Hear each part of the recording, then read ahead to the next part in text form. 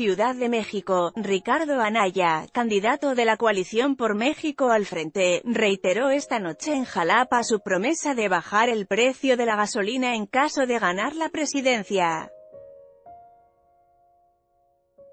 El queretano encabezó en la capital jarocha una concentración acompañado por el candidato del Frente a Gobernador, Miguel Ángel Yunes Márquez, hijo del actual mandatario, con quien hizo un recorrido a pie para llegar al templete seguido por cientos de simpatizantes.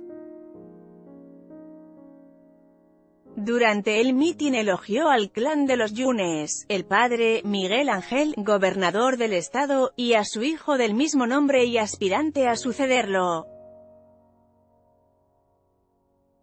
Fab arroba Ricardo Anaya Canalla también se comprometió a que las personas que ganen menos de 10 mil pesos no pagarán el ISR y a rehabilitar los 24.000 kilómetros de carretera de Veracruz, destrozados por los desfalcos de Javier Duarte. Para los jóvenes, ofreció becas, créditos y beneficios fiscales para que creen sus propios negocios.